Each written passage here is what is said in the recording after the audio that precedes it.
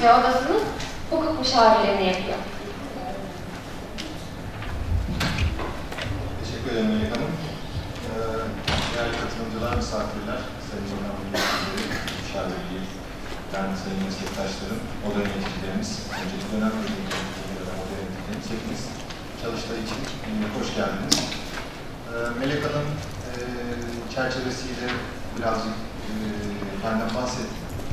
Ben de kısaca bahsedeyim, biraz daha eklemem gereken şeyler var aslında. Bütün bu çevresel etki değerlendirme süreçlerinde bütün tartıştığımız hususlar, bakanlıkta olan bütün müzakere zeminleri, değişim dava yükü ve dava sonucunda e, özellikle duruşmalarda e, çok daha bütünlükçü tartışmalar yaptığımız, e, yapma fırsatını bulduğumuz zamanlar oldu. Dolayısıyla aslında bütün bunlar birazcık da Türkiye'nin çevre hukuku ve kamu hukuku birikimiyle de biraz bağlantılı. Dolayısıyla kendimden biraz bahsedeyim. E, 2002 senesinde Ankara Üniversitesi Hukuk Fakültesinden mezun oldum. Çevre hukukuyla e, ilk ilgim ve bağlantım Ankara Üniversitesi Cebeci Kampüsü içerisinde bulunan İksir Çevre Topluluğu ile birlikte oldu. Ee, o zaman nükleer santralle ilgili tartışmalar e, çok gündemdeydi ve ben özellikle kendi kendime nükleer santralle ilgili e, ve çevresel etkiler üzerine kendi kendime araştırmalar yapıp bunları belli makalelere döküp e, bir takım yazı çizgi çalışmalar içerisinde bulunmaya çalışıyorum.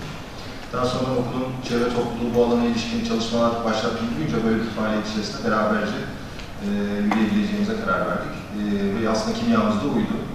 Dolayısıyla e, okul e, süren boyunca çevre hukuk alanında termik santraller, nükleer santraller, hidroelektrik santraller ve çevre hukukunu daha bizim emekleme dönemi dediğimiz e, ilk dönemlerine ilişkin birçok tartışmayı beraberce yürütmeye çalıştık. Ankara Üniversitesi Hukuk Fakültesi bünyesinde çevre hukuku ana bilim dalı vardı ve bu bizim için gelişmemizi de e, Sayın Profesör Doktor Nükhet Turgut'un sayesinde e, gelişmemizi de epey sağladı. E, daha sonradan tabii Nükhet Hoca Ankara Üniversitesi Hukuk Fakültesinden ayrıldıktan sonra ana bilim dalımızda kamu hukuku ana bilim dalıyla birleştirildi. Zorunlu ders olmaktan çıktı. Daha sonradan çevre hukuku Ankara Üniversitesi'nde bir seçmeli ders olarak halen devam ediyor. E, çevre hukukunun üniversitelerde e, ayrıntılarıyla anlatılması ve bu anlamda e, bu alanın geliştirilmesine yönelik fikirlerin ve bilimsel çalışmaların daha fazla üretilmesi bir zaruret. Biz yaklaşık 20 yıl e, önce bununla tanıştık. Fakat e, bu alana ilişkin çalış, çalışan hukukçu sayısı Türkiye'de epey az. Bakanlığın ve e, Merkez ve Taşrar Teşkilatı'nda çalışan hukuk müşavirleri dışında serbest hukuk, e, serbest avukatlık e, ve hukuk, hukuk anlamında akademide çalışan çevre hukuk alanında oldukça az sayıda e, insan var. E, pek tabii ki biz bu üniversitenin çevre topluluğu sonrasındaki çalışmalarımızı üniversite mezuniyeti sonrasında bir derneğe dönüştürdük. Ee, bu derneğimiz aynı zamanda bugün çevresel etki değerlendirme yönetmeliğinde de birçok davayı açan, çevre mühendisleri odasıyla birlikte birçok davayı açan, gerek zaman zaman beraber gerekse de bağımsız davayı açan ekoloji kolektifi derneği. Ee, özellikle son yıllarda iklim adaleti konusunda ayrıntılı çalışmalarımız e, ve termik santralin insan ve toplumsal halk sağlığı üzerine etkileri üzerine daha çok çalışmalarımızı yoğunlaştırdık ama Ekoloji Kolektif ve Türkiye'nin özellikle hukukçular arasında oluşturulmuş bir dernek olması nedeniyle Türkiye'nin çevre hukukuna ciddi anlamda bir ivme kattığını düşünüyoruz. Bundan sonra katacaktır. Ee, çevre Mühendisleri Odası'yla e, hukuk müşaviri olarak çalışma başladı aslında çok e, manidar bir başlangıcı var. 2008 yılının Kasım ayında ilk bizim 5. yeniçe yönetmeliği dediğimiz çevresel etki değerlendirme yönetmeliği yürürlüğe girdiğinde e, dönemin e, oda e, yönetim kurulu üyeleri bu alana ilişkin çalışan hukukçular öğrencilik zamanında da beraber birçok çalışma içerisinde bulunmuştuk. Ee, beni ve arkadaşlarımı davet ettiler ve bu yönetmeliğin ilgili hükümleri özellikle o dönem geçici üçüncü madde bizim için çok önemliydi. Daha sonradan birçok iptal davasına da konu oldu. Ee, çevresel etki değerlendirme yönetmeliği ile ilgili dava açmak için bir hukuki atık çalışması yapmak istediklerini söylediler. Ve beraberce bir çalışma yaptık. Bu çalışma sonrasında e, 2008 yönetmeliğiyle ilk davamızı açtık. O dönem Çevre Mühendisleri Odası dışında yanlış hatırlamıyorsam bir başka dava yok çevre yönetmeliği ile ilgili. E, Danıştay 6. Dairesi'nde epeyce uzun tartışmalar sonucunda dava e, sadece geçici güç maddesi yönünden, yani muafiyetlere ilişkin madde yönünden iptal edildi. Diğer tüm hukuk aykırılık iddiaları e, mahkemece reddedildi. E, Danıştay İdare Davalar Kurulu kararıyla bu karar onandı. Tabii pek tabii ki 2008'de başlayan bu davalaşma süreci bakanlıkla e, bakanlığın bu anlamdaki atacağı adımlarda belki de daha cesaretli olmasını sağladı. En azından belki de tarihsel olarak biz kendimize bu payı biçebiliriz. E, nedeni de biz e, aslında hem çevre hukukunun temel ilkesi olan katılımcılık ilkesi e, hem de e, bir idari dava yoluyla katılım hakkının kullanılmasını çok yoğun olarak tartıştık. Çünkü aslında 2008 yılından bu yana bakanlıkla, dönemin e, Çevre ve Orman Bakanlığı'yla, daha sonra Çevre ve Şehircilik Bakanlığı oldu. Çok fazla bir müzakere zeminimiz olmadı. Özellikle tüm tartışmalarda bir araya geldiğimizde, müşavirliğinden meslektaşlarımla bir araya geldiğimizde, duruşmalarda, e, belirli toplantılarda rastlaştığımızda idare kadrolarla hep bunu bir eksiklik olarak ifade etmeye çalıştık. Çünkü kamu yararını gözeten, Anayasanın 135. maddesi üzerinde faaliyetlerini yürüten kamu kurumu niteliğindeki bir meslek kuruluşu olan Çevre Mühendisleri Odası'nın görüşünün alınması bu anlamda bizim için e, takdire bağlı değil, zaruret olması gerektiği düşüncesindeydik. Hala da bu düşünceyi taşıyoruz. E, 2008 yılından bu yana bu müzakere zemini maalesef ki bakanlıkta bir türlü kurulamadı. Pek tabii ki iki, iki dönem e, görev yapan yönetim kurullarının Çevre Mühendisleri Odası'nda belli dönemler içerisinde değişmesi, belki de e, görev yapılan dönemler içerisinde bu anlamda daha sert, daha uzlaşıcı tutumların alınması da buna mutlaka ki etkisi olmuştur. E, fakat bakanlıkla bu özellikle teknik çalışma ve mevzuat geliştirmesi çalışmasında e, fikirlerimizin çok alınmadığını gördük ve bunu bir eleştiri olarak her aşamada söylemeye çalıştık. Bunun yasal dayanağında e, mevzuat hazırlama usul ve esasları hakkındaki yönetmelik gereğince aslında tüm ilgili devlet kuruluşlarından görüş alınması zorunluyken sivil toplum kuruluşlarından, platformlarından, kamu kurumu niteliğindeki meslek kuruluşlarından görüş alınmasının mevzuat gereği takdire bağlanması ve bakanlığın takdir yetkisinin hiçbir zaman oradan yana kullanılmaması nedeniyle. Dolayısıyla biz bu müzakere zeminini birazcık e, yani masa başında bunları tartışabilmek, beraberce teknik e, bir tartışma yürütebilmek için birazcık dava yollarıyla idari katılım hakkımızı kullanmak zorunda kaldık. E, aslında 2008 yılından günümüze bütün bu dava sonucunda elde edilen sonuçları bir araya koyup tartıştığımızda ki umarım bu çalıştay sonrasında tüm mevzuat ve e, bu konuya ilişkin alınan kararların bir derleme kitap çalışması yapılacak. Hem bakanlıkla yeni yetişecek meslektaşlarımız açısından da bir derleme külliyat olarak işe yarayacaktır. Hem de büyük bir ihtimalle daha yaygın bir çevreye yayılması için elektronik yayın olarak da odanın web sayfası üzerinden yayınlanacaktır. E, dolayısıyla bütün bu davalarda alınan kararların 2008 yılından bu yana e, mevzuatta kamu yararı yönünde ciddi anlamda artılar getirdiğini düşünüyoruz. Ben kişisel olarak şahsım adına da düşünüyorum. E, çünkü biz bu müzakere zeminini elde edemediğimiz her noktada bu işi yargı kararıyla bakanlığa e, bir mecburiyet olarak önüne koymak e, zorunda kaldık. Aslında iyi de oldu. Kanunun ve anayasanın bağladığı zaruret nedeniyle bakanlığın derhal ve her halükarda 30 gün içerisinde mevzuat hükümlerini iptal kararlarıyla birlikte değerlendirilip bunu yeni bir mevzuat hükmüne dönüştürmesi bir zaruret. Dolayısıyla bu zarureti biz birazcık da fırsat olarak değerlendirdik ve bu e, gelişmeleri ve mahkeme sonucunda alınan kararların tamamını e, aslında yeni bir yönetmelik düzenlemesi haline getirmeye gayret ettik. E, şu anda hali hazırda yürürlükte olan 25 Kasım 2014 tarihli çevre sebepli değerlendirme yönetmeliği bizim aslında hem teknik çalışmalarımızda hem de mevzuat çalışmaları açısından bizim 7. yeni çet yönetmeliği diye ifade ettiğimiz 2008 yılındaki ilk davada 5. yeni çet yönetmeliği e, diye adlandırdığımız bir sürecin sonucunda e, gerçekleşiyor. Yani bu şu demek, 93 yılındaki ilk çet yönetmeliğinin çıktığı tarihten bu yana e, ara değişiklikler, mahkeme kararları, ihtiyaçlara bağlı olarak ve taleplere bağlı olarak ara değişiklikler dışında yönetmelik 7 kez bütünlüklü olarak değişmiş.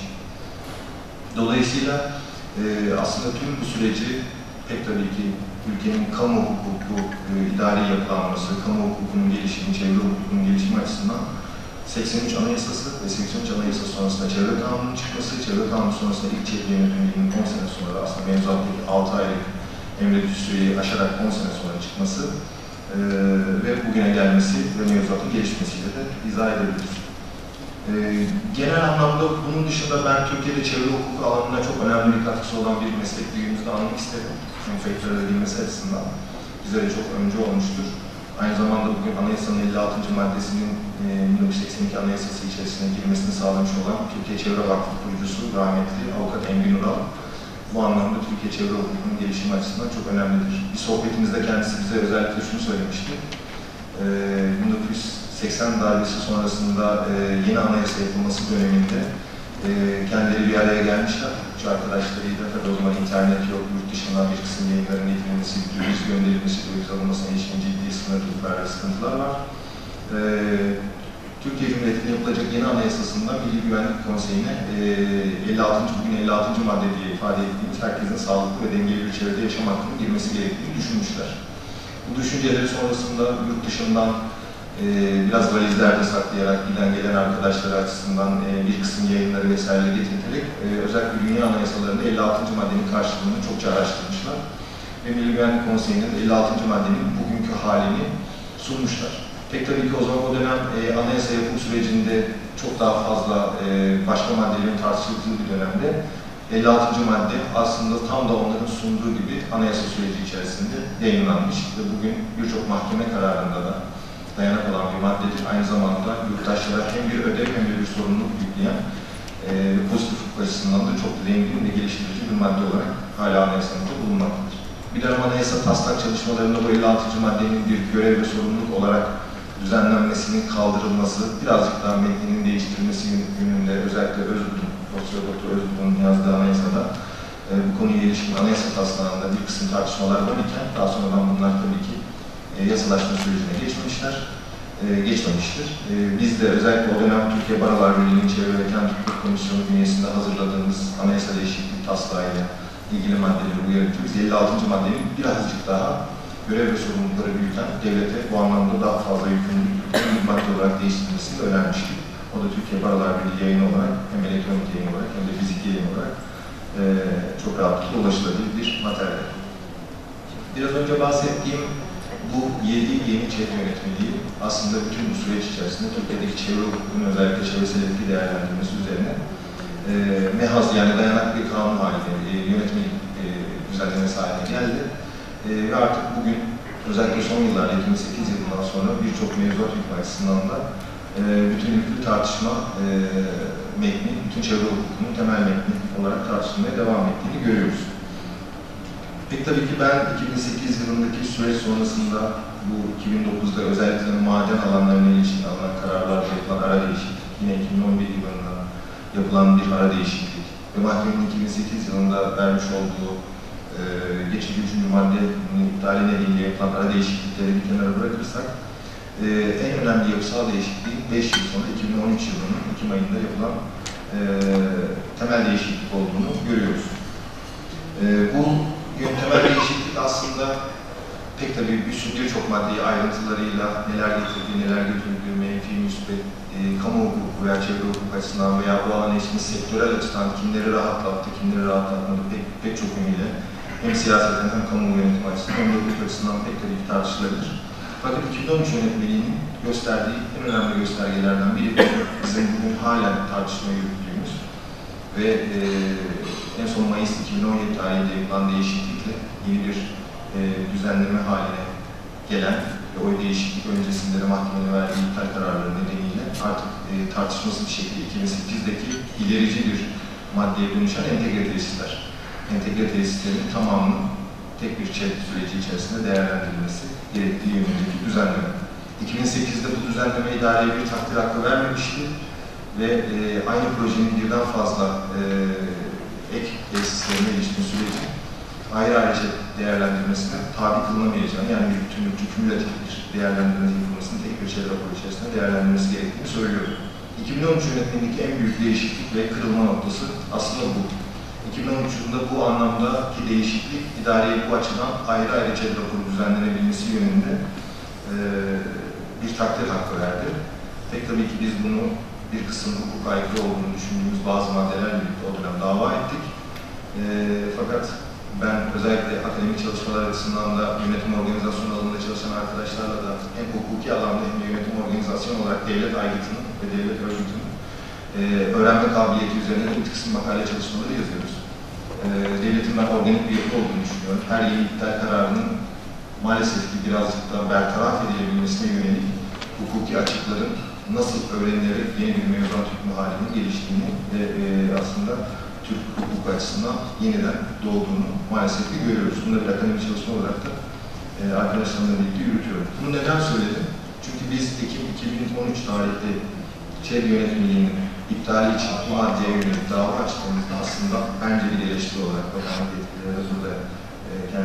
etsinler.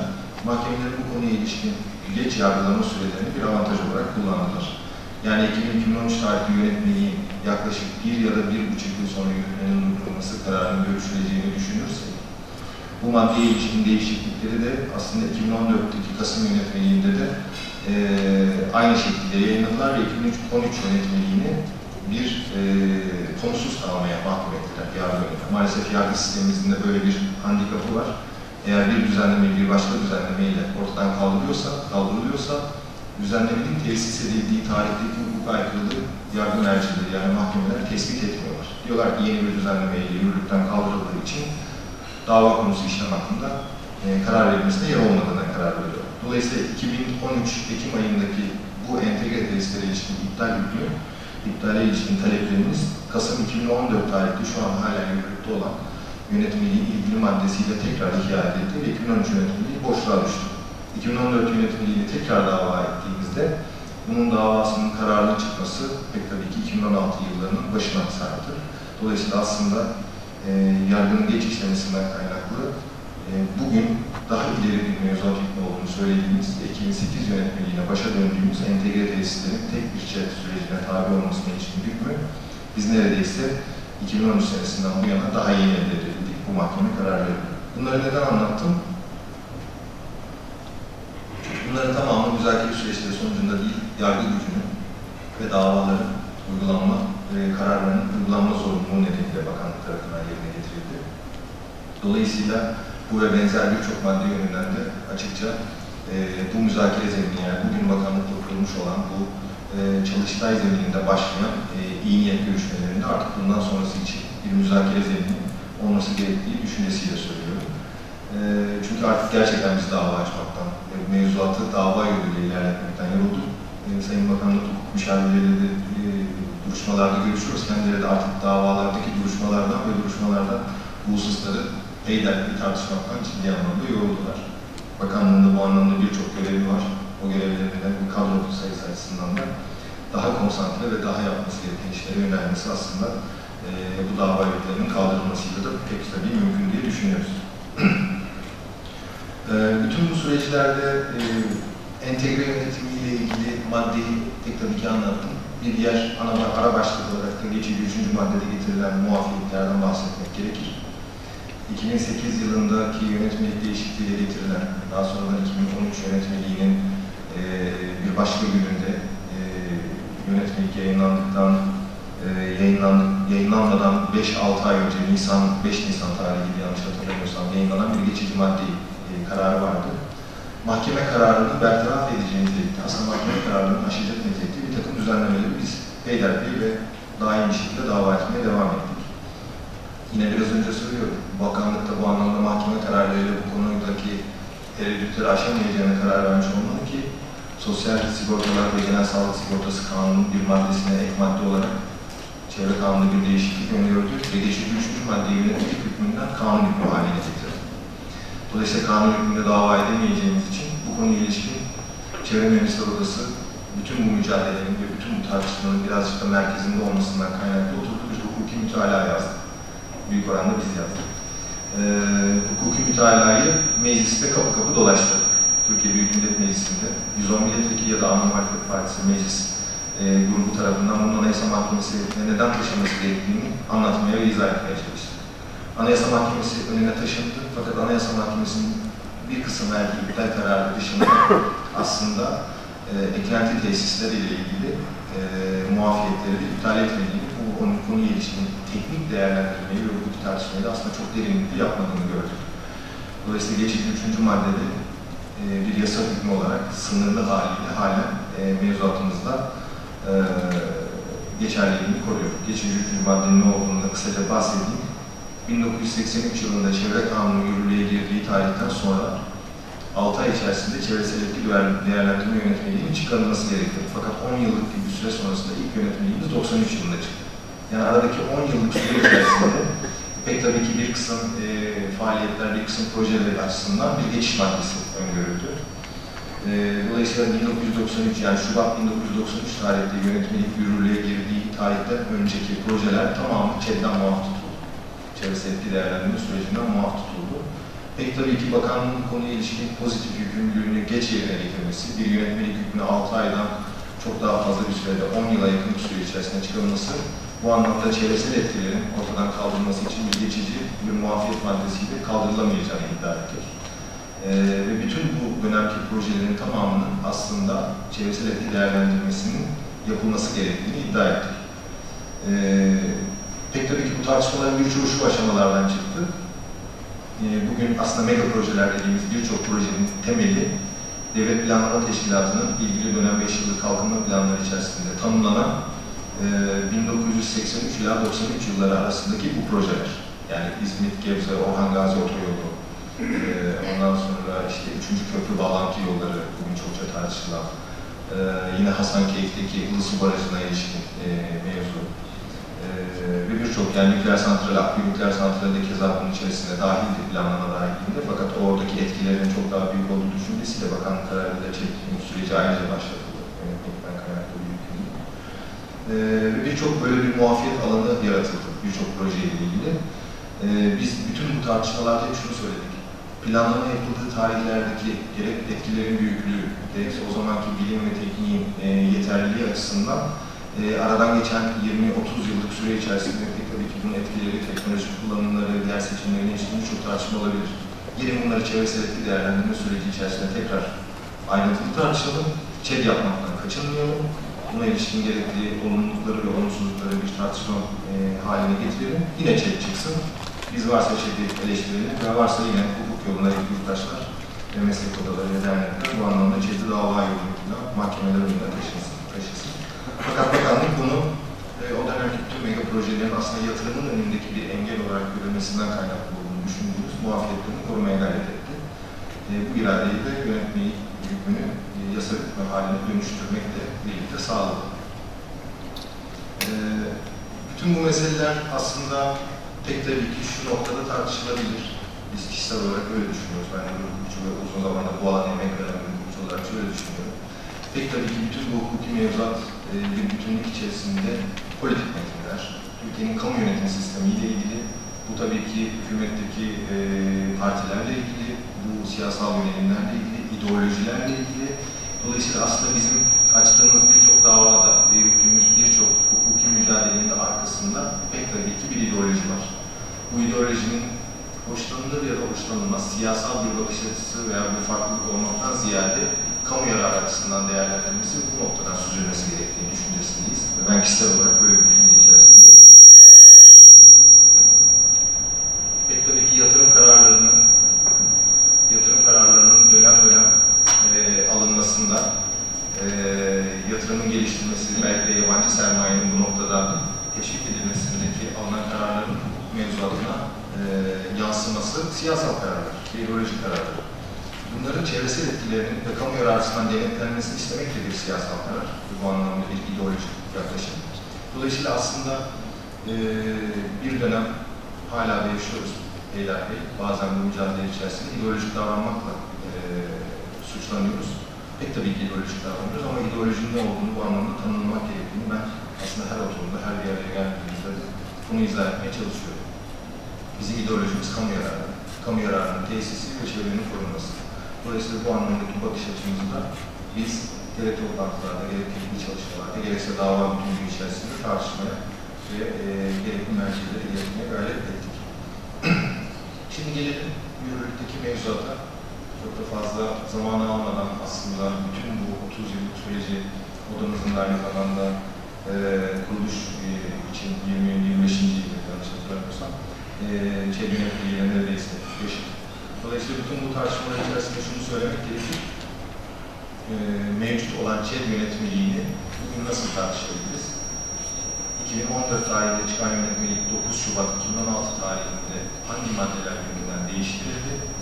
9 Şubat yönetmeliğindeki değişikliklerin bir kısmının iptal kararı sonrasında yine açtığımız dava sonucunda iptal kararı sonrasında Mayıs 2017 tarihteki yönetmeliği nasıl yansıdı ve değişti ve nasıl e, ortaya çıktığını biraz tartışmak gerekiyor. Sonra belki soru cevaplarla biraz daha ilerlemek daha uygun olur düşüncesindeyiz. Ve aslında beklenen soru Kasım 2017 yönetmeliğinde çevre yönetimi sorumlusu dava açacak. Ee, çok az bir zaman kaldı ama sürenin adli tatile denk gelmesi nedeniyle 7 Eylül tarihine kadar süremiz var. Bu konuya ilişkin aslında birazcık da dava açmamak, bütün bu tartışmaları e, böyle bir teknik toplantı içerisinde değerlendirmenin daha uygun olduğu düşüncesindeydik. E, fakat birkaç tane hayati madde var. E, onlar açısından o da davacı olmasa bile bu anlamda tartışma yürüten sivil toplum kuruluşlarının ve yurttaşların davacı olabileceğini düşünüyorum. Mahkeme kararlarının bertaraf edildiği olduğunu düşündüğümüz bazı düzenlemeler. Şimdi 2014 yılındaki yönetmeliğin temel tartışma noktası aslında bugünkü öğleden sonraki atölye çalışmalarından bir tanesinin konusunda olduğunu bildiğim hem sektör temsilcilerini ilgilendiren hem bu anlamda idari kuruluş olan bakanlık ve taşra teşkilatını ilgilendiren hem kamu kurumundaki meslek odamız olan çevre mühendisliği odası ilgilendiren hem de bu anlamda odamızın üyesi, odamız tarafından lisanslı, e, belgeli çevre danışmanlık firmaları ve çet firmalarının e, ilgilenen düzenlemeler, izin, denetim ve kontrol.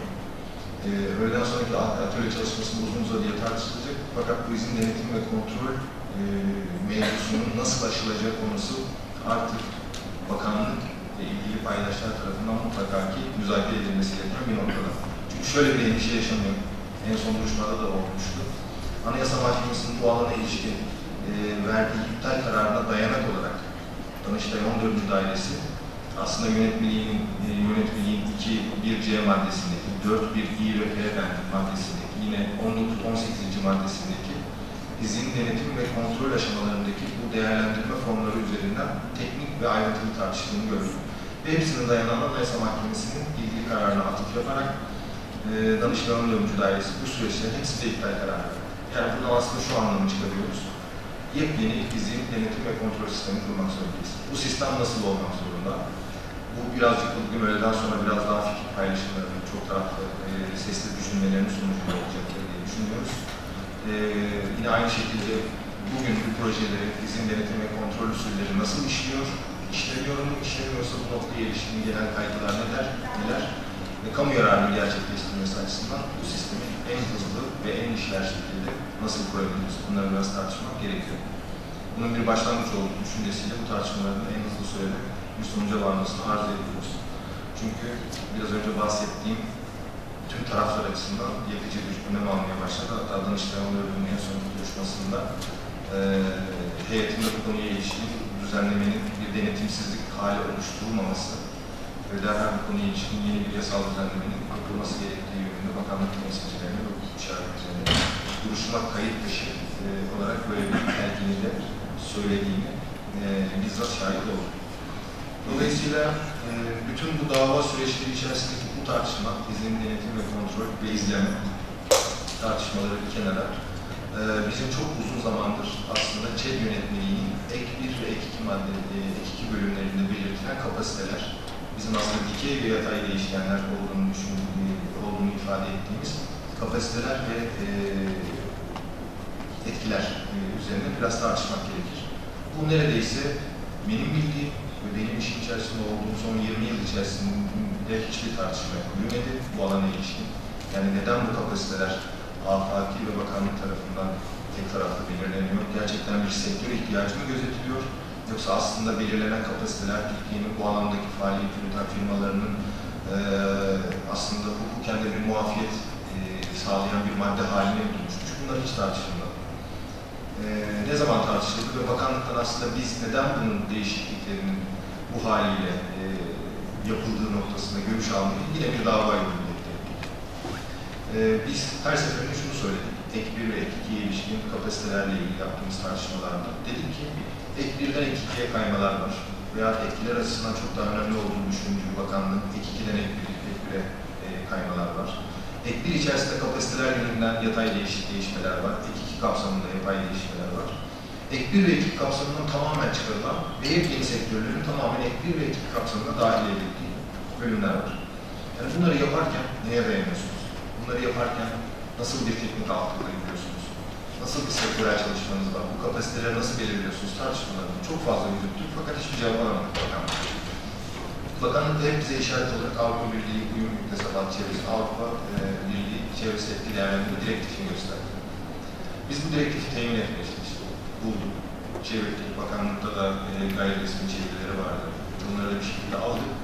Fakat bakanlığın söylediği gibi aslında e, birebir e, yabancı hukuk mevzuatından Türk hukuk mevzuatına bir uyarlama değil, e, Türk hukukunu ve Türk Türkiye'deki çevresel etki anlamında temas edecek olan e, yatırım sektörlerindeki e, bazı özelliklere göre buradaki kapasitelerin değiştirildiğini. Pek tabii ki doğaldır. Olması Avrupa Birliği'nin bu anlamdaki değerlendirmeleri Türkiye'nin daha büyük bir biyolojik çeşitliliğe hitap ettiğini düşündüğümüz coğrafyada belki de daha sık korunmalıdır.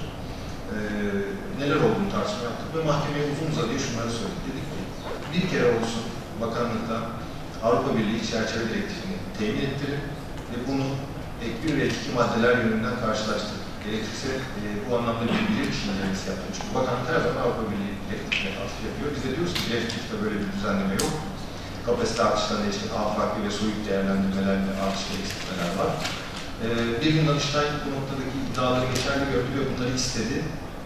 Ne zamanki istedi ve bu tartışmaları yaptı, ek bir ve ek iki maddelerine ilişkin birçok yürütmeyi durdurma kararı vermeye başladı. Bakanlığın itiraz üzerine bu yürütmeyi durdurma kararlarının bir kısmı kaldırıldı. Ve aslında ek bir ve ek iki anlamındaki kapasitelere ilişkin birçok projede e, halen, şu anda 2014 yönetmeliği kapsamında halen e, yürütmeyi durdurma kararları yaşıyor. Yani hala durdurulmuş birçok kapasiteler var. E, biz bütün bu süreçler sonucunda bakanlığın taşra teşkilatlarına, ondan sonra bu alana ilişkin faaliyet yürüten danışmanlık firmalarına, bu anlamda sektörde yatırım yapmak isteyen e, yatırım gruplarından hep telefonlar aldık. Kapasite içinde miyiz değil miyiz? Hep buradaki madde durduruldu mu, durdurulmadı mı? Tekrar yürürlüğe girecek mi? Bakanlığa veya müdürlüğüne başvuruyoruz. Bu anlamda bize mahkemenin çevre mühendisleri odasının açtığı dava nedeniyle durdurulduğu söyleniyor. Bizim başvurularımız alınmıyor gibi birçok serzeniş var. Dolayısıyla bu ek 1 ve ek 2'lerin de aslında belki bu çalıştayın konusu değil, e, fakat çok daha ayrıntılı, belki birazcık daha Avrupa Birliği ve Türkiye'nin coğrafi ve biyolojik çeşitliliği üzerinden ve yatırım ve kalkınma planları üzerinden bir tartışılması gerekir.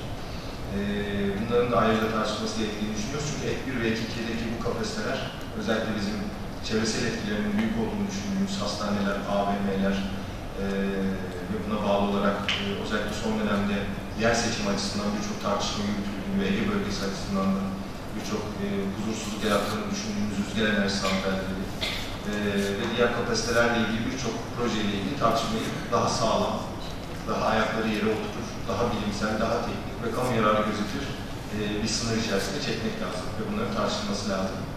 Ve biz her aşamada şunları söylemeye gayret ettik ve söylüyoruz. E, mevzuat yani çevresel etki değerlendirme sürecine dahil olmasını, dahil olmaktan e, veya bu sürecin yatırım planlarını geciktirmesinden şikayet etmeyin. Bu yapılması zaruri bir şey. Çünkü ne zaman ki Dünya Bankası'nda bir kredi arayışı içerisine girdiğimizde veya yabancı sermayesinden bir kredi arayışının içerisine girdiğimizde bize sunmaktan yani Türkiye Cumhuriyeti devletine ve ilgili idari kurumlarına ve kamuoyuna ve bu ondan etkilenecek ilgili halka sunmaktan ziyade sermaye gruplarına yani yatırım çiftliği çevrelerine, Dünya Bankası'na ve diğer uluslararası kredi kuruluşlarına sunulan çok daha ayrıntılı, çok daha fazla etki değerlendirmeleri olan e, ve adını sosyal ve çevresel etki değerlendirme e, diye adlandırıldığı raporlar olduğunu görüyoruz. Bunların bazılarına tebrik ettik. Bir eleştiri olarak da bütün davalarımızda kullanıyoruz. Şunu diyoruz, yani Türkiye'deki mevzuat bütün bunların yapılması açısından bir ayak bağı olarak düşünülmesi lazım. Yani en büyük paradigma bence bu. Bunun kırıldığı noktada e, çok daha sağlam, aslında geleceğe yönelik olarak bu yatırımların planlanması mümkün. Çünkü e, yanlış hatırlamıyorsam şu anki bakan Mehmet Özaseki'den önceki bakanımızdı e, ya da şu anki bakanımız e, dile getirdi. Çevre bir ayak bağı olmaktan kurtaracağız diye bir beyanat var yanlış hatırlamıyorsam. Yani bu bakış açısının bence uzaklaştırılması ve derhal bir kenara atılması gerekiyor. ÇED bir e, ayak bağı veya yatırımın geciktirilmesine ilişkin bir süreç değildir. Bütün bunların içselleştirilmesi, yatırımcı açısından da içselleştirilmesi, bakanlık açısından da bu anlamdaki hem inşaat öncesi, inşaat sonrası, e, süreçlere ilişkin bu denetimin kamu görevleriyle ilgili devletin asli bir sorumluluk olarak denetlenmesi ve izlenmesi gerektiğini düşünüyoruz. Bir denetimsizlik ortamı e, oluşturulması gerektiğini düşünüyoruz. Bir, bir diğer şu anki 2014 yönetmeliğinde olan zamanda şu anki haline gelmesinde bütün bu davaların çok büyük payı, payı olduğunu düşündüğüm e, aslında çet kararlarının nasıl duyurulduğuyla ilgili maddeler biraz bahsetmek gerekir. Çünkü pek tabii ki biz biraz işin mutfağındayız. Özellikle idare mahkemeleri yönünden çevresel etki değerlendirme kararlarının iptali için açılan davalarda yurttaşlar, meslek örgütleri ve sivil toplum kuruluşları tarafından önce usulden süreye takılıyor. Yani bu anons nasıl olması gerekir, ilan nasıl olması gerekir, bu projelerden etkilenen halkın bu projenin ayrıntılarına nasıl ulaşması gerekir noktasında epeyce kafa yok. Bunları hep dava konusu da ettik. Ve e, yönetmenin bugün e, gelinen aşaması ilk zamanların bir aşamasından çok daha ileri bir aşama. Eksik mi? Hala eksik. Dava etmeye devam ediyoruz. Ee, neler eksik? Kısaca onlardan bahsedeyim fazla da zaman olmadan. Ee, özellikle bu anons, ilan ve internet üzerinden yayınla ilgili hala bir kafa karışıklığı var. Uygulamada, idare mahkemelerinde ve Danıştay'da. Şöyle ki, internet üzerinden yapılan bu duyurunun yeterli ve geçerli olduğu birçok davada özellikle valilikler tarafından iddia ediliyor. Bu anlamda muhtarlıklara veya işte e, bu projeden etkilenecek olan ilgili halkın bulunduğu yerdeki idari kurumlara, kaymakamlıkların, panoların asılınan duyuruların bu anlamda e, daha sonraki tarih olması nedeniyle e, ilk ilan tarihi olarak internette yayınlanması, yayınlanmasının yeterli olduğu ifade ediliyor. Bu çok ciddi anlamda bir hak kaybına yol açtığını söylemek gerekiyor.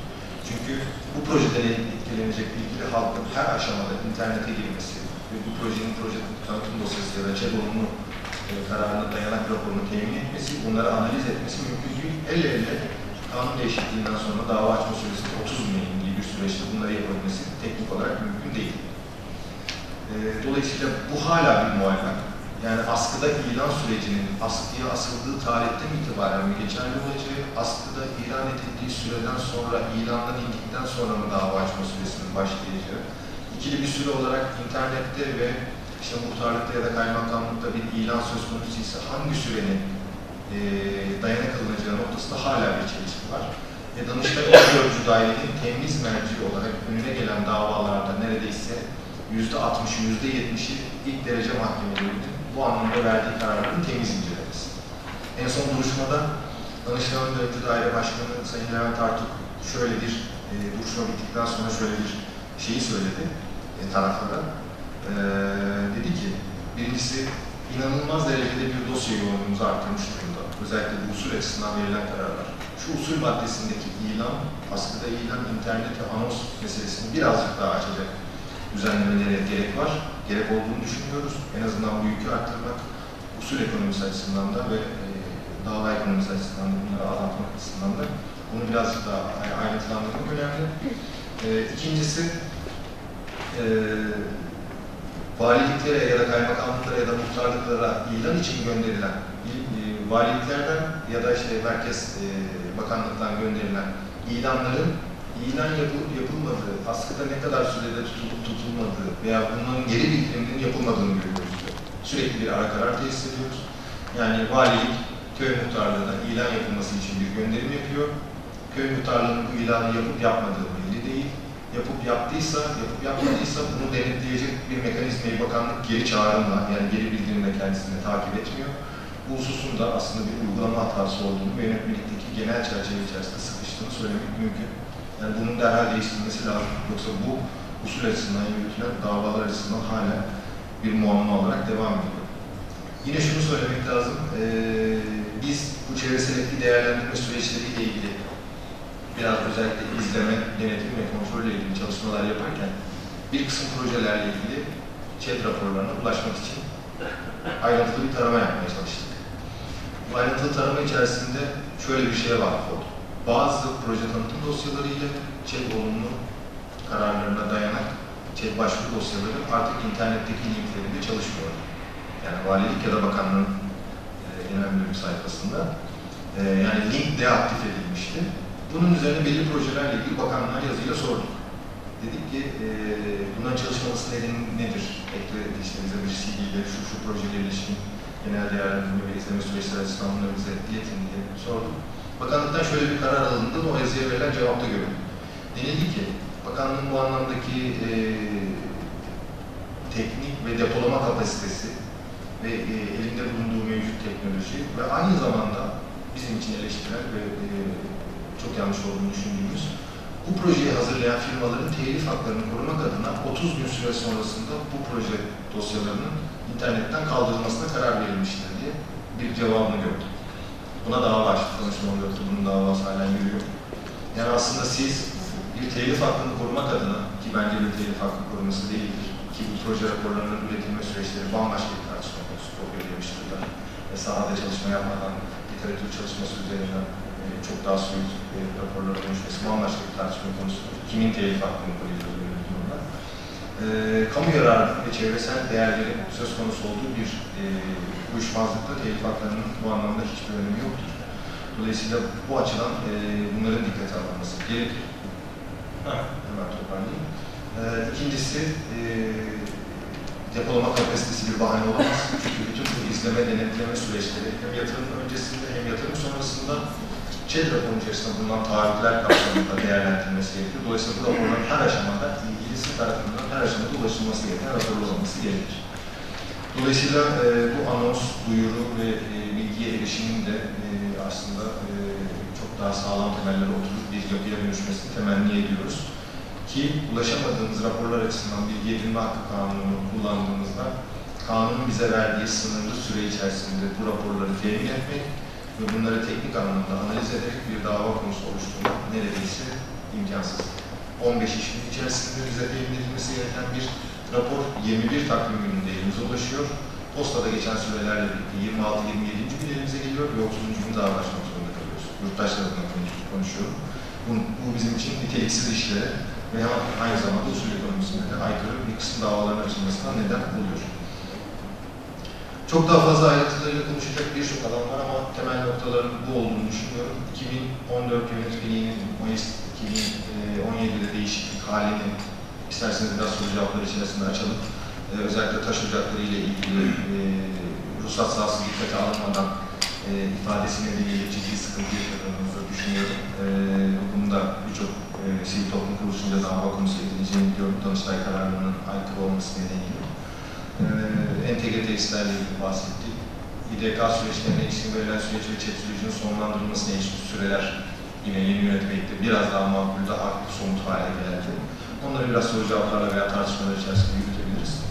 Ee, benim bu aşamada genel yönetmeliklerle ilgili seyir seferi anlatabileceklerim bunlar. Sağlığınız için teşekkür ederim.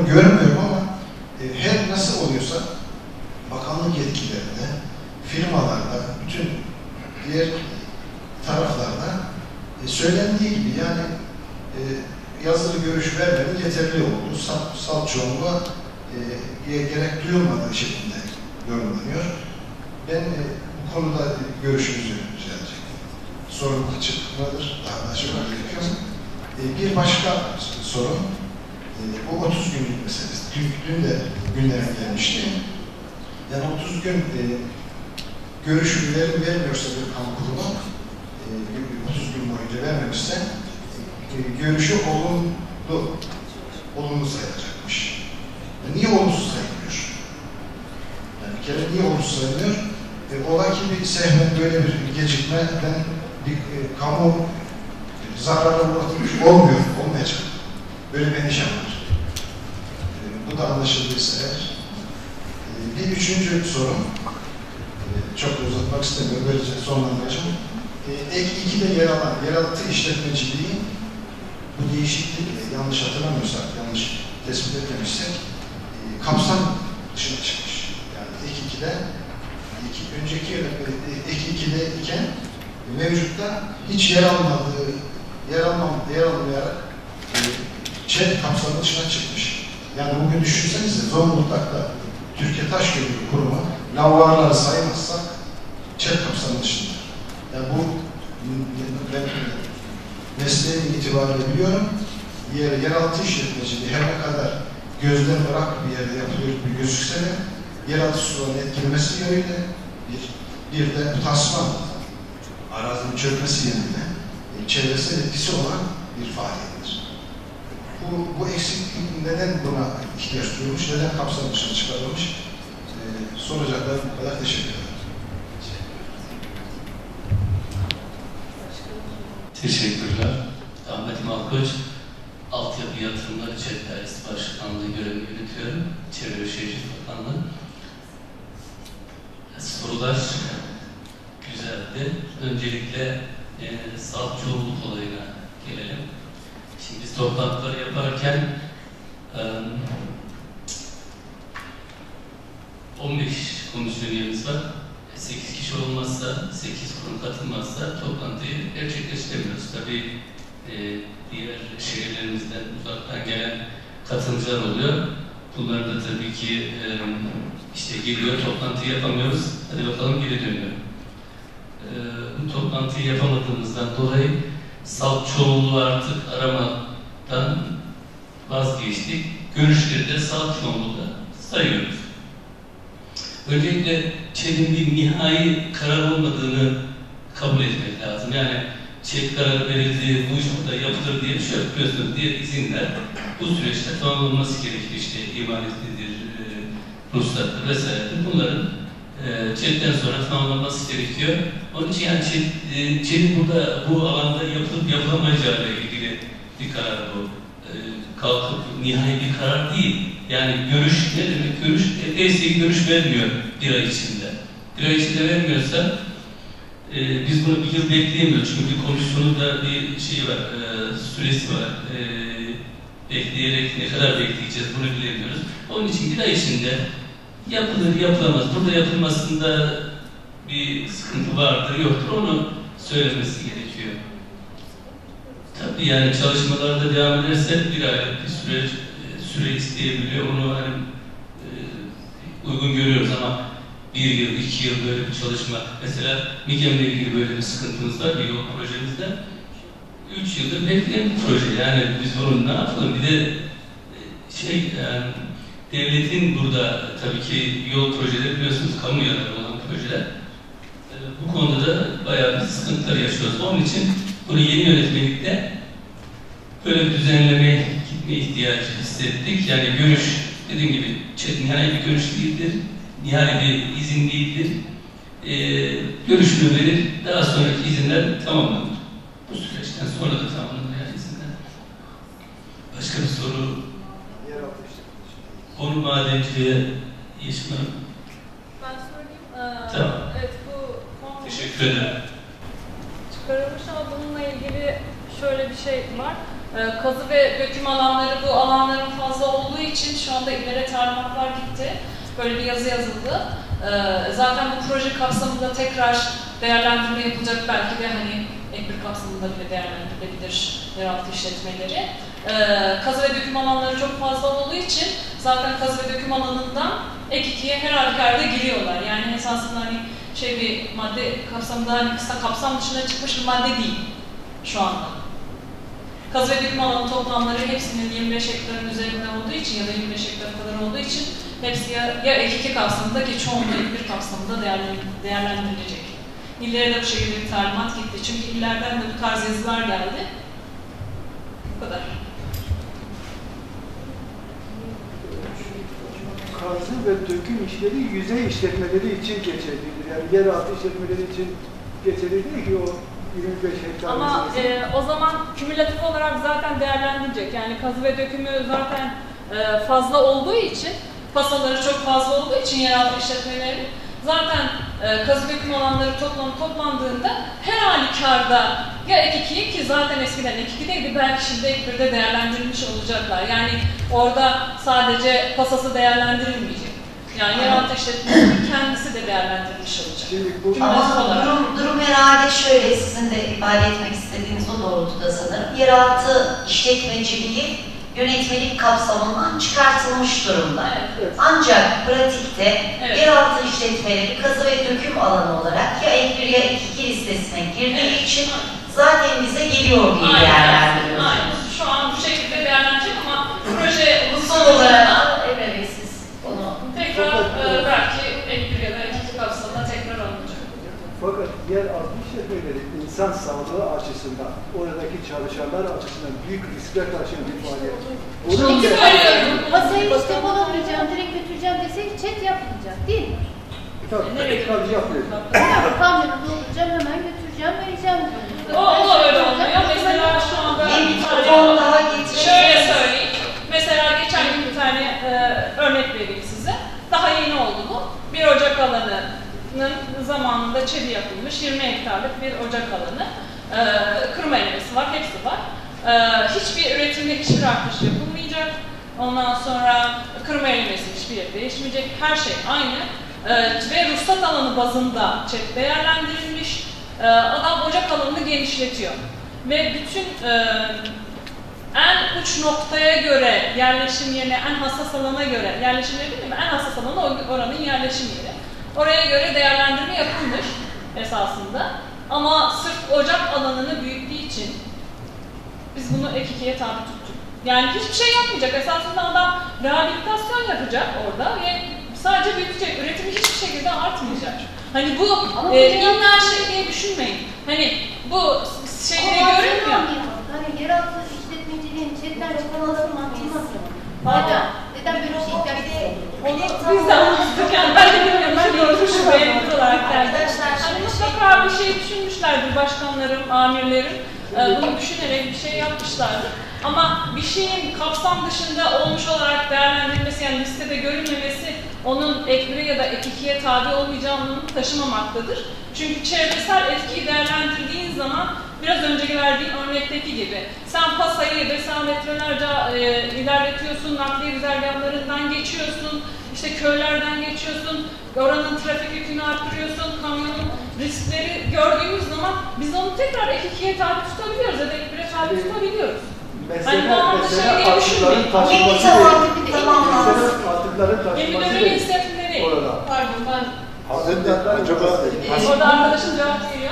pasat dediğiniz şey e, maden cevherini mi kastediyorsunuz yoksa yaramayan malzemeyi mi? O dışarı zaten dökülemez ki ya. Maden Yani garip götüremeyecek içerisinde tabii, bir yer, bir boşluklar şey. doldurulur. Kullanım yer bir yerde. Düzeltim eskiden öyle yapıyor. Yani götüremiyor. Yani götüremeyeceği için mecbur. Siz herhalde Yeşim Hanım'dan yanıtınızı aldınız. Bir açıklama mı yapacaksınız yoksa beyefendinin sorusuna cevaben mi? Hem beyefendinin sorusuna hem beyefendinin sorusuna cevaben bir şey söylemek istiyorum. Peki buyurun. Ee, bizim yani şimdi bütün her şeyi e, yapılacak bir faaliyetle ilgili bütün izinleri, kontrolleri getirip CED yönetmeliğine bağlamak hata. Evet yeraltı işletmeleri insan sağlığı açısından ciddi sıkıntılar yaratabilecek işletmeler ama bununla ilgili başka bir bakanlık var zaten. asli konusu bu olan bir bakanlık var. Biz faaliyetlerin çevresel etkilerini değerlendiriyoruz. Ve şunu çok net söyleyeyim, biz bir takım denetimlerimizde bu tarz insan sağlığını tehdit eden sıkıntıları gerek Çalışma Bakanlığı'na, gerek meslek hastalıkları hastanelerine bildirdiğimiz zaman aldığımız yanıtları görseniz gerçekten e, şok olursunuz, biz şok oluyoruz. Hani biz sürekli aslında denetlenen bir bakanlığız, gerek hukuk anlamında, gerek dışarıdan e, halkın, toplumun baskısı anlamında en şeffaf süreç bizde olduğu için ben dünden beri bunu söylüyorum. Bizim sürecimiz şeffaf ve açık ilan edilir olduğu için en çok aslında denetlenen, izlenen bakanlık bizim bakanlığımız ve süreç bu süreç. Ben dün de aynısını söyledim. Ee, bir izin veriliyor. Bir e, EPDK bir enerji üretimi için lisans veriyor. Verdiği lisans üstüne çek geliyor. Devlet Su İşleri HES için planlamasını yapıyor. Yapılan planlama üzerine ÇED'e geliyor. Karayolları, demir yolları her türlü planlarını yapıyorlar. Ondan sonra ÇED'e geliyor. Şimdi ama ne yapıyoruz? Biz bu yapılan planları herkese duyuruyoruz. O yüzden de sanıyorum en çok e, biz e, bu şekilde eleştiriyoruz. Yani o, o nedenle en çok katkı ve katılım sağlayabildiğimiz bakanlık bir süreçti. Pardon. Çek bakanlığımız. süreci. E, ama katkımızı da esirgemiyoruz bu anlamda. Bu Ama iyi bir şey. sanıyorum ki ben de evet bu, bu gördüklerimizden sonra biz de bu süreçleri gerçekten iyi işletiyoruz ki herkes rahatlıkla katılıp sağlayabiliyor. Teşekkür ederim. Peki teşekkürler açıklama için. Ee, sorunuza Emre Bey ayrıca yanıt verecek. Dolayısıyla yeraltı işletmelerin herhalde genel değerlendirme şu şekilde. Yeraltı işletmeleri e, bakanlıkça yürütülen çalıştay sonrası yapılacak mevzuat düzenlemesinde dahil edilebilir böyle bir düşüncemiz var. Ama e, çok fazla çevresel etkileri olmaması nedeniyle çıkarttınız. Yani son yapılan değişiklikteki e, biz Yok öyle bir şey. Düşüncemiz yani düşüncenin olduğunu düşünmüyorum. Ee, yani şu anda yönetmeliğe girip ya- yani çıkması aşamasında. Ama hani zaten kazı ve döküm alanından zaten hani bunlar çıkmış gibi bir şey, çıkmış bir durumda değiller yani. Şu Pratik hala kapsamdalar yani ve bununla ilgili yazılar da yazıldı. Başkanım yine yani o aşamalarda yönetmenin yazım aşamalarında vardır. Ben çünkü e, yeni geldim şubeye ama o daha rahat açıklayacaktır size. Şimdi Tamam. Bir saniye. özür dilerim bir şey söylemek istiyorum. Yani burada faaliyet sadece artık meselesi değil. Ama zaten Yer altı meselesi kendine özgü- kendine özgü ciddi çevresel etkileri olan bir mesele.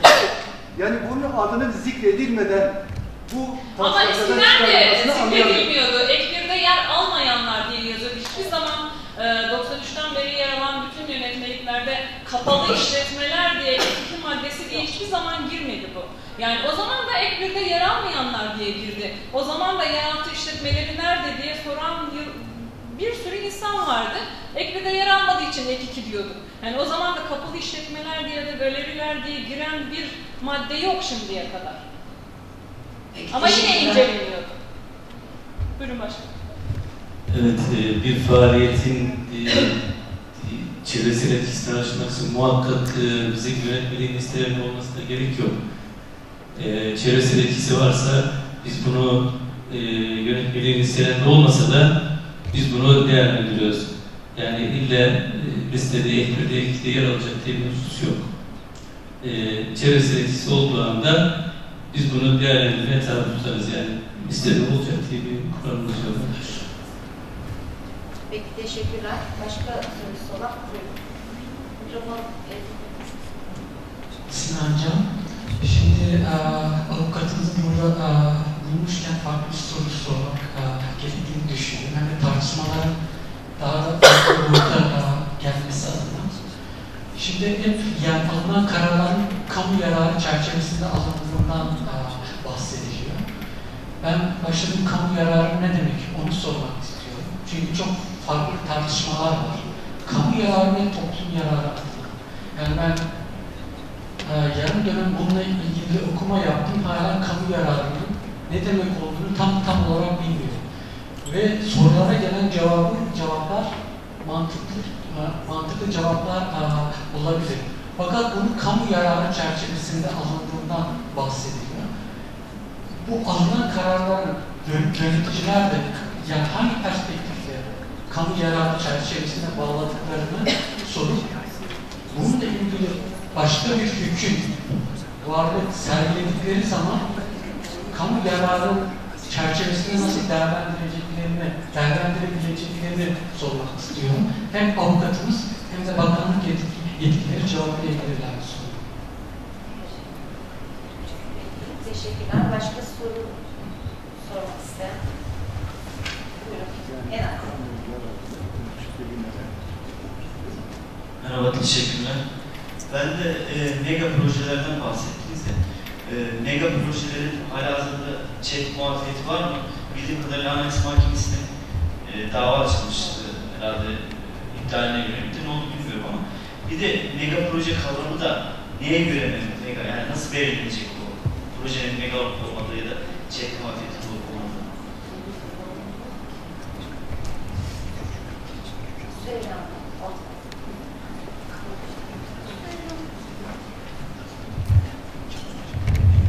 Süheyla Doğan. Öncelikle sunumunuz için çok teşekkür ederiz.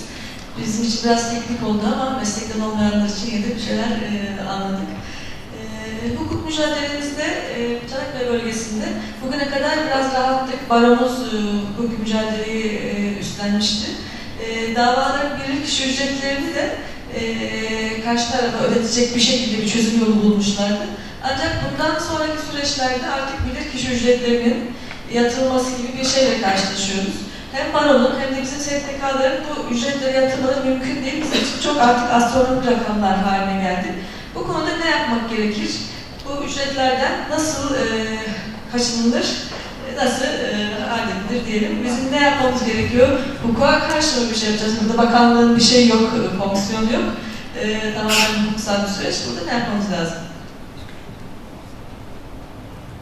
Başka soru var mı acaba salonda yoksa o zaman topluca yanıt vereceğiz. Siz notlarınızı aldınız. Evet aldım. Şimdi ben sondan başlayayım çok fazla. Şimdi bu bilirkişi e, ücretleri hazır bakanlığı burada bulmuşken biraz bunlardan bahsetmek gerekir. Bu bilirkişi ücretleri ciddi anlamda davalarda aslında hak arama hürriyetini ihlal eden nitelik haline geldi. E, pek tabii ki devlet de bakanlık da şu noktada bakıyor. E, yani hani hem dava ediliyoruz hem bilirkişi ücretlerini biz ödemek zorunda kalıyoruz. Bu ne verdi? Bunları anlatıyoruz diye bakıyorlar. Onlar da kendince haklı olabilirler. Hem devletin bütçe yapısı açısından hem bakanlığın bu anlamda yüklendirilmesi açısından. Fakat bu iş nasıl bu aşamaya geldi? Şöyle ki, e, eskiden e, çok daha makul, çok daha mahkemenin takdirine bağlı olarak belirlenilen e, ve dava açma hürriyetini ve hak arama hürriyetini ihlal etmeyecek nitelikteki e, rakamlar üzerinden konuşurken, daha sonradan hukuk usulü muhakemeleri kanunundaki üç kişilik bilirkişi sınırı kaldırılınca ve projelerin etki alanları birden fazla bilim ve teknik açıdan birden fazla disiplinin ilgilendirmeye başlayınca dolayısıyla aslında bilirkişi sayıları açısından bir sınır ortadan kalktığı için sayı arttı. Her bir bilirkişiye emek ve mesaisi karşılığında takdir edilmesi gereken ücret noktasında da takdir yetkisi mahkeme heyetlerinde olduğu için eskiden 3 bilirkişiyle 1500 TL'ye bir bilirkişi incelemesi yaptırılırken şimdi 7-8 bilirkişiyle hatta daha fazla bilirkişilerle keşiflere gittiğimiz oluyor. Ee, rakamlar 10 binden benim en fazla gördüğüm 90 bin liraydı aktif nükleer santralin bilirkişi heyeti için ödediğimiz e, rakam 90 bin TL bir rakam ödendi. Atatürk Orman Çiftliği ile Ankara'da 25 bin lirayla rekor kırmıştı. Ee, dolayısıyla çok ödenebilecek rakamlar değil.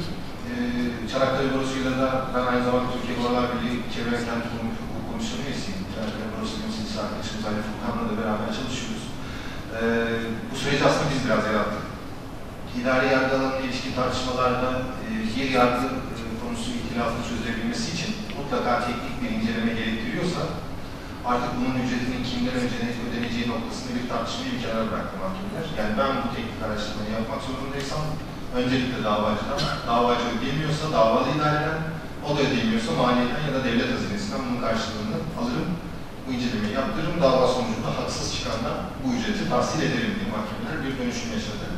Dolayısıyla şu anda tersine bir kararla dönüş olmadığı sürece süreç böyle ilerleyecek. Yani ekonomik gücü olanlar açısından bu ücretleri dayanışmayla veya kendi öz varlıklarıyla yatırmaya devam açısından devletin ve hazinenin karşılaması halen gündemde. Bunu bir talep etmek gerekiyor. Aksi takdirde biraz e, karşılanabilecek ücretleri çok daha fazla üzerine çıktığını söylemek lazım. E, mega projelerle ilgili e, şöyle bir şey söyleyebiliriz. Anayasa Mahkemesi'nin iptal kararı aslında e, tam olarak ihtiyacı karşılamadı, şu anlamda karşılamadı. E, 1993 yılında ÇED yönetmeliğinin yürürlüğe girdiği tarihinden önce üretime başlamış olan projeler açısından e, bu muafiyetin korunacağı, bu tarihten sonra üretime başlamayan projeler açısından muafiyetin korunmayacağına ilişkin e, ortaya bir karar bıraktı Anayasa Mahkemesi. Ve bunun eklenti tesisleri açısından da bu değerlendirme kriterini e, bağladı aslında tartışmayı. Bunu şu demek, e, tabii bütün bu tartışma olurken Anayasa Mahkemesi kararı sonrasında şu, şu gündeme geldi. Bir tesisin üretime başlaması ne demek? Yani bir otoyol için e, bir e, proje başlatıyorsunuz. Otoyolun ilk hafriyat çalışmasının yapılması mı, ilk e, asfaltın dökülmesi mi, yoksa otoyolun işletmeye açılması aşamasına kadar bütün aşamalarını tamamlayıp ilk geçişin sağlanması mı? Veya köprü de aynı şekilde. Veya ilk üretim açısından mesela ilk ürettiği enerji üretiminin şebekeye verilmesi mi tartışmalar gündeme geldi. Uygulamada hala sıkıntı yaşadığımızı biliyorum. Şöyle ki Anayasa Mahkemesi 93 yılı öncesinde planlama diye girmiş fakat üretime başlamış olan tesisler açısından muafiyeti baki kıldı. Biz mega proje diye adlandırıyoruz ama bizim aslında en büyük çevresel etkileri olduğunu düşündüğümüz bu projeler açısından tartışma yürütmek için mega projeler diyoruz. İzmit, Orhan Gazi ve İzmir bağlantılı otoyol. Türkiye'nin şu anda en büyük ve tek parçalı otoyolu bildiğim kadarıyla. Ee, yanlışım varsa düzelt, düzeltin lütfen. Ee, dolayısıyla bu bir e, 93 yılından önce sadece bu otoyolun İzmit Orhan Gazi arasındaki yanlış hatırlamıyorsam 140-144 kilometrelik bir kısmı yatırım planlarına girdiği için 400 ya da 600 kilometrelik bütün projenin tamamı arttırıldı. Böyle bir uygulama sıkıntısı var. Yine bağlantı yolları açısından çok daha küçük bir güzergah İstanbul'da 93 yılından önce Devlet Planlama Teşkilatı'nın e, planlama esaslarına girdiği için ismi de değişse, kilometresi de uzasa, etki alanlarının güzergahı da değişse sadece ismi orada yer aldığı için muafiyet kapsamında değerlendirildi. Halen böyle değerlendiriliyor. Dolayısıyla bu sıkıntıları biraz önümüze geldikçe göreceğiz gibi görüyoruz. E, keza yine çok uğraştığımız e, Bergama'daki Alianoy Antik Sağlık Yurdu ve onun e, yortanlı sulama barajı altında kalması meselesinde o antik yurdun e, baraj altında kalmaması için 6 sene mücadele ettik fakat en sonunda kaldı. Şu anda sulama barajında yeteri kadar su toplamıyor. Oradaki domatesler de bildiğim kadarıyla sulanmıyor. Ama bir antik şehri domatesleri için e, suların altında gömdük. O da yine bir muafiyetten yararlanmıştı. E, daha önceden bir sulama projesi nedeniyle yatırım planları içerisinde yer aldığı gerekçesiyle. Dolayısıyla her her türlü önümüze geldiğinde veya çet süreci işletilmediğinde muafiyet kapsamında olup olmadığını aslında biraz bakanlığın bu anlamdaki yönelimlerinden ve aldığı kararlardan anlayabiliyoruz. Çet geçerliliği ile ilgili tartışma ve davalaşma süreci gayet. Ee, kamu yararı, toplum yararı tartışması e, sizi tatmin edecek bir cevap veremem. Şu noktada bir tatmin edecek bir cevap veremem. E, çok uzun süredir tartışılan, hukuk camiasında, kamu yönetimi, kamu idaresine ilişkin meseleler çok uzunca tartışılan bir konu. Hani kamu yararı toplum yararını kapsar mı? Toplum yararı kamu yararından daha mı yüksek bir yarardır? Veya kamu yararı nedir? Hangi hangi yatırımlar kamu yararı içerisinde değerlendirilir? Örneğin bu tamamen biraz e, yatırım planlaması açısından veya politik eksen açısından baktığımız noktalara göre değişir. Yani bir yatırımcı açısından devletin kalkınma e, planlaması ve bu açıdan yapılacak bir enerji arzı veya enerji ihtiyacına yönelik olan bir projede kamu yararı vardır. Biraz önce bahsi geçti. Karayolları mesela kamu yararı olan projelerde. Bir başkası açısından o karayolunun veya o elektrik santralinin e, yapılacağı yer ile ilgili korunması gereken bir doğal varlık vardır. E, o doğal varlıkların orada yerinde korunması, institü korunması açısından bir kamu yararı var. Dolayısıyla aslında kamu yararı nereden tutup nereden baktığımızda bakış açımıza, ideolojimize ve e, toplumcu ya da işte bir başka bakış açısına göre değişebilir. Dolayısıyla e, hala bu konuya ilişkin net bir şey söyleyebilmek çok fazla mümkün değil. Biz kamu yararı açısından bakıyoruz dediğimizde pek tabii ki planlama esaslarına uygun, devletin gerçekten arz güvenliğini sağlayan ve taleple bağlı olan, ithal ikameci enerji ihtiyaçlarını karşılamayan, e, fakat e, özellikle geri dönüşü olmayan, e, yerinde korunması gereken özellikleri bertaraf edeceği nitelikteki her türlü faaliyetin kamu yararı dışında olduğunu anlattığım çerçeve ve tartışma içerisinde farklı görüşlerle de değerlendirilebilir. Örneğin bir e, sulama barajı mı yoksa işte antik yurtun kurulması meselesi pek tabii ki bizim bakış açımız antik kurulması yönünde olabilir. Bir başkası da sulama barajı oradaki tarımsal ihtiyaç açısından gerekli vaziyeti olduğu yönünde olabilir. Yarışan kamu yararı diye bir tartışma da var. E, bütün bu meseleler içerisinde veya üstün kamu yararı. Bir dönem maalesef da, yargının bence bir sıkıntısı. E, özellikle yargıtayın ilgili e, Orman Kadastrolu'na bakan dairesi e, bir tartışma çıkarmıştı. Daha sonradan Danıştay'a da sıçradı idari yargı alanında. Ormanların korunmasında üstün kamu yararı olduğuna karar verdi birkaç kararında. Dolayısıyla hangi kamu yararı diğerinden daha üstün bir tartışması çıktı. Halen de devam ediyor. Ee, üstün kamu yararı veya bir aslı üst ilişkisi bizce olan asıl kamu yararı e, bir aslı üst ilişkisi içerisinde e, tartışılmak bence mümkün değil. E, bu 30 günlük süre içerisinde görüş verilmemesi meselesi bizim bütün tartışmalarımızda aslında gündeme geldi. Pek tabii ki bakanlık ve yatırımcı açısından şunu anlayabiliyoruz. E, projeyi ilerletmek istiyor ve devletin ilgili kurumlarında e, bu noktada görüşler takılıyor. Ee, özellikle biz Gerze Termik Santrali ile ilgili projede e, Gerze'deki orman işletme şeklinden olumsuz görüşün daha merkezi düzeyde olumlu görüşe çevirmesi için çok uğraşıldığında buna şahit olmuştuk. Aylarca, yıllarca orman görüşü beklenildi. Ve pek tabii ki bu projenin e, gerçekleştirmesi, ilerlemesini engelledi. O dönem yönetmeliğin bugünkü haliyle işte bakanlıkça belli bir süreler vesaireler yok, iptal edilir mi, askıya mı alınır, proje iade mi edilir vesaire tartışmalarıyla birlikte yıllara uzayan bir e, şey gündeme gelebiliyordu. Bakanlık ve yönetici açısından anlaşılabilir. Pek tabii ki 30 gün içerisinde görüş verilmemesinin, verilmemesinin olumlu olarak nitelendirilmesi. E, fakat şu açıdan e, belki de teknik görüşün dolaştırılması bu anlamda yürütülmesi açısından 30 gün birazcık kısa bir süre. E, süreci hızlandırabilmek adına belki 30 günlük sürenin bir tartışması olabilir, olmalıdır. E, veyahut sonradan gelecek olan görüşlerin e, olumlu görüş, yani 30 gün içerisinde verilmemiş görüş, görüş olumlu adledildikten sonra bir olumsuz görüş gelirse dikkate alınacak mıdır? Uygulama açısından bir tartışma. Belki de cevap verebilecek olan bir e, bakanın temsilcisi varsa aslında memnun olduğumuzu öğrenmiş olmakla birlikte. Yoksa 30 günlük süre katı bir şekilde uygulanacak. Bu aşamaya gelen görüşler mi? Projenin ihtiyaç açıları açısından değerlendirilecek. E, diğer tartışmalarda hani basası, e, yeraltı e, sahasının e, kapsam dışına çıkarılması, zaten etkilerinin ilk kapsamında dış etkilerinin değerlendiriliyor olmasını e, ben biraz soyut buluyorum. Yani şu anlamda e, teknik bir personel değilim. Pek tabii ki siz işin içerisindesiniz. Daha ayrıntılı bilip teknik olarak izah etmeniz mümkün. Fakat şöyle bir şey, o zaman çevre yönetmeliğine diye bir şeye ihtiyacımız var. Her şeyin çek, şey, çevresel etki değerlendirmesini bir şekilde yapabileceksek zaten bakanlığın denetimi ve kontrolü altındaysa o zaman neden ek bir iki kapsamında bir takım limitler ve kapasiteler belirliyoruz veya e, projelere ilişkin e, yerler belirliyoruz. E, şeytan avukatlığını yapayım, tersinden de düşüneyim. Kazuistik yöntemle her şeyi çevre yönetmeyin ek bir ve ikisine koymak mümkün mü? Bence o da mümkün. Yani her projeyi, her etki alanını, her kapasiteyi oraya koyabilmek de mümkün değil. Bence olması gereken nokta şu, biraz önce siz söylediniz, e, taşra teşkilatlarının konu için yazıyla bildirim yapılır diye. Biz bu yazıları görmüyoruz. Siz de şeffaf olduğunu ama biz bu çalışmaları kurum içi çalışma olduğu için bilmiyoruz. E, takdir yetkisini, il müdürlükleri açısından takdir yetkisini, merkezi otoritenin ne kadar daraltır ve aslında yönetmeliğin uygulanmasını e, yerelde uygulamalar açısından sınırlarını ve belirliliğini sağlarsa bir sıkıntı yok.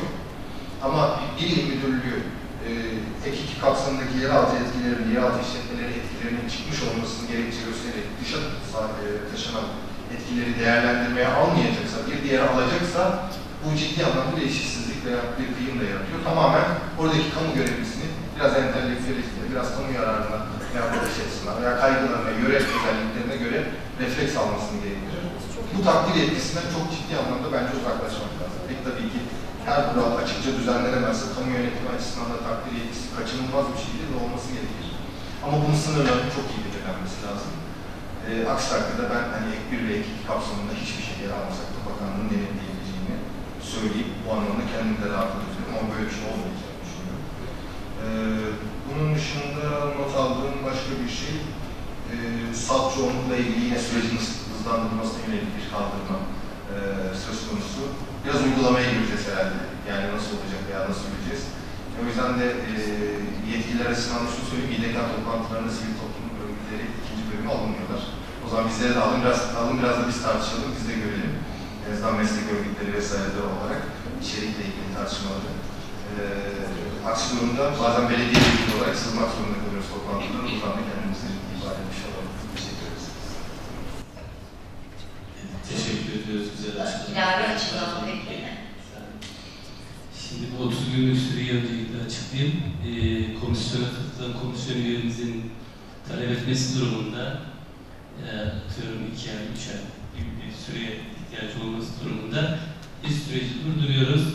Buyurun 3 ay içinde görüşünüzü tamamlayın. Bu var. Bir de mega projelerle ilgili olarak kamu yararına tabii hukuk bilir. Biz çok girmeyeceğiz bu konuya. Ona gelmeden önce bir konu daha vardı herhalde. Siz 30 gün süresi içerisinde 30 gün geçti, olumlu kabul ettiniz. Ama 35. gün olumsuz bir görüş geldi. Ne yapıyorsunuz? Yani e, böyle dediğim gibi eğer komisyonda böyle bir talep süreye ihtiyaç olduğu duyulursa zaten onu belirtiyorlar. E, diğer türlü bu 30 gün hani kurumların hepsini görüşü gelmemişse e, biz onu hani çok sonlandırmıyoruz yani. O konuda Yani süreyi bildirmedi, 35. gün olumsuz görüş verdiyse son verdiği yani görüş- çok değil, çok değil yani 30 günde şu sıralar bitiriyoruz ama mesela e, atıyorum belediye görüş vermiyor. Bir kez daha uyarıyoruz, görüşünüzü 15 gün içinde verin, vermezseniz olumlu olarak kabul edecektir. Bir kez uyarıyoruz bu şekilde. Uyarı yapıyoruz yani. Yani 30 gün değil de bu sefer 47. gün olumsuz görüş gelirse. Yani bir, böyle bir görüş istiyoruz onlardan ama çok böyle afaki şeyler, yani, çok, Çok da onları... görüş vermiyorlar gibi hani böyle bir örnek durumda olmadınız. Aynen, aynen yani o şekilde. Genelde görüşleri toparlıyoruz. Toparlayamazsak böyle bir uyarıda bulunuyoruz. Ama bir de süre veriyoruz. En mantıklı bunlar. Bu şekilde. Mega projelere gelmiştik. Ee, mega projelerde kamu yararı tabii ki e, hukukun belirlediği bir şey. Bu e, e, kamu yararı, üstün kamu yararı. Tabii ki bunu e, kamu yararını HES'lerde, e, RES'lerde vesaire bunlarda beklemek çok doğru değil. Tam bir enerji arzı, bir kamu yararı gibi görülse de kişilere tabii ki e, kazandırıyor. Bunun yanında e, elektrik ihtiyacını da karşılamış oluyor. Yani bu çok kamu yararını, tabii kamu yararı kabul ediliyor burada tabii ki. Ama e, bunun kararını en son hukuk veriyor. Mega projelere geldiğimizde İstanbul 3. Havalimanı için söylüyorum. Mesela buna Çevre Mühendisleri Odası bildiğim kadarıyla dava açtıydı. Değil mi? Yani bunu kabul etmek, e, ben bunu kabul edemiyorum. Niye kabul edemiyorum? Hepimiz İstanbul'dan uçuyoruz bir yere. Yurt içi, yurt dışı. En az 10. sırada bekliyoruz. Bir yarım saat bekliyoruz uçakta. Yani öyle. Birkaç kez öyle rastladım yani. 10. sıradasınız, 7. sıradasınız, 8. sıradasınız. İhtiyaç var mı? Var. İstanbul 3. Havalimanı'nın yerini bilenleriniz var muhakkak daha önceden oranın bir madencilik işletmesi ve göletlere döndüğünü ben daha önce 94'te de tamam şey etmişimdir. Gidip görmüşümdür. Ama e, geldiğimiz noktada vay efendim buralar göl, gölet vesaire. Yani yerin göl olması bellidir yani. Orası nedir? Sonradan oluşmuş, yağmur suları olmuş, oluşmuş göletlerdir. Ve orada ağaçlandırma da yapıldı. Onları da gidip gördük. O ağaçlandırmaları tabii ki koruduk. O şeyleri Orman Bakanlığı bildiğim kadarıyla falanlara nakletti, edilebilecekleri. Hani e, ben gönül rahatlığıyla söylüyorum. Biz de Çevre Bakanlığıyız adı üzerinde. Biz de tabii ki çevreyi korumak için varız. Eğer Çevre Bakanlığı kurulmasaydı, ihtiyaç olmasaydı zaten eskiden yoktu biliyorsunuz. Ama bir ihtiyaç doğdu.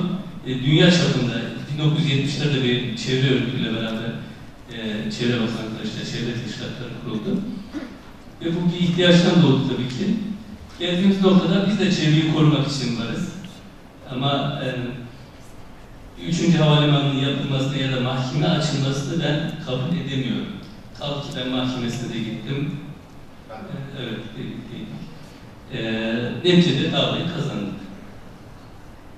Yani beklenen de buydu zaten. Çok mega bir proje ülkemiz için hayırlı olsun diyorum. Teşekkür ediyorum. Söz hakkı olsun. Şimdi e, ben de söz savunmanın diyerek Çevre Mühendisleri Odası'nın o sizin kabul etmediğiniz, kabul edemediğiniz e, dava açması konusundaki savunmamızı e, Baturay Bey'den rica edeceğim. O da müşavirimiz olarak. Evet tabii ki yani karşılıklı bir şey olmayacak ama şöyle söylemem lazım. Sizin kabul edip etmemeniz önemli değil. Biz kamu yararı görüyorsak zaten bu davaları açıyoruz. Böyle de olması gerekir. Bunu siz de sindirin, biz de sindirelim. Yani hani bir yatırım düşmanlığıyla e, itham edilmeyelim. Biz artık gerçekten bu ciddi anlamda yorulduk. Pek tabii ki mahkemede tartışılması, teknik değerlendirmeleri konu edilmesi, sahada keşif yapılması ve oradaki etkilerin görülmesinden kaçınmayalım. Siz de kaçınmayalım, biz de kaçınmayalım. O yüzden ben de şöyle yumuşadım. Yani hani biz davayı kazandık. Bunu söylemeniz yeter. Biz temiz ettik, temizi de kaybettik. Orada başka başka tartışmalar vesaireler de yürüdü. Sıkıntılar da vardı. Ama dava açılmasından rahatsızlık olmayı gerçekten bir kenara bırakalım. Çünkü bu da aynı zamanda bir katılım hakkı. Biz oraya ilişkin birçok şeyi çok daha fazla gündeme getirdik ama 23 milyar dolarlık bir proje ihale edildi sanırım Muammer Bey yanlış da hatırlıyor olabilirim. Türkiye'nin en büyük projesi mali açıdan. Ee, ihaleye çıkılma usulünde bakanlık açıkça hata yaptı. Bunu dört tane ihale ve uygulama sözleşmesiyle ilgili yaptık. Kendi yönetmeliğimizdeki sürelere riayet etmedi. İş günü ve Çaka Bakanlığı ve Ulaştırma. Ulaştırma, Ulaştırma Bakanlığı. Binali Yıldırım yaptı. O zaman Ulaştırma Bakanımızdı. Şöyle bir şey oldu, özür dilerim. Hemen bir savunma bir şey olmasın.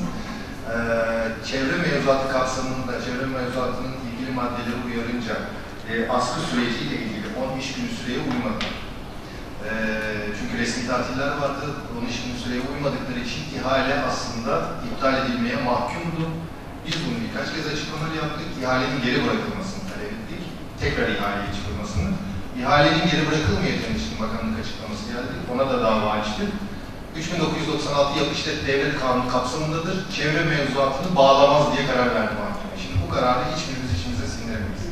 3996'ya tabi yapı işlet devlet projeleri çevre kanunu ve ÇED sürecinden muaftır diye bir karar verdi. Bu, bu manipüle bir karar. Davayı ihale süreçleri yönünden kaybettik. Bunu kimse hukuk tarihi açısından açıklayamaz.